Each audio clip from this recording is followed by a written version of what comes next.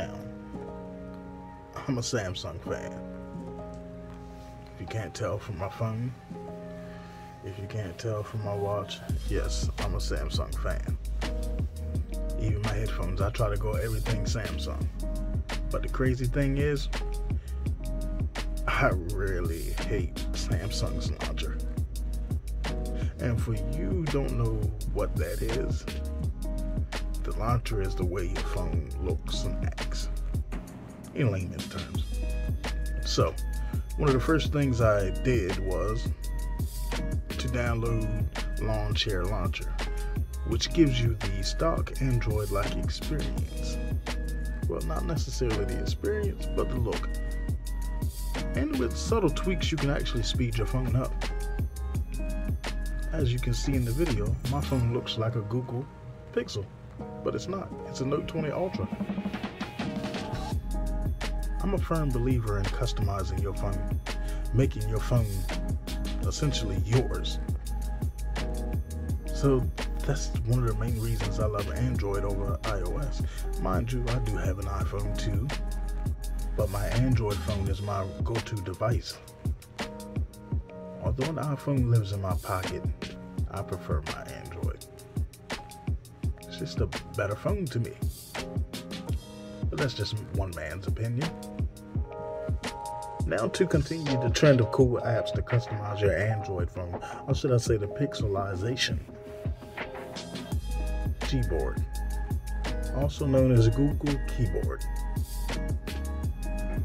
is a great app. Best part about Gboard is you get great customization features you can actually use pictures as your keyboard background.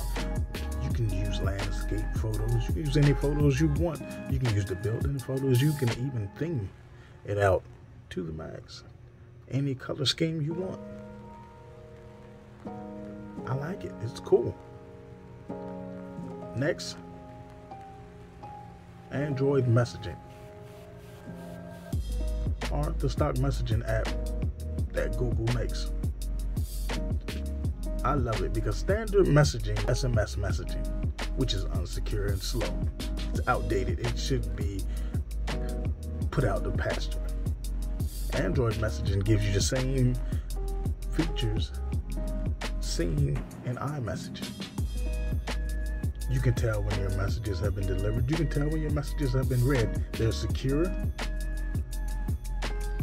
It's amazing as you can see here. And also, the best part, it gives you great customization features.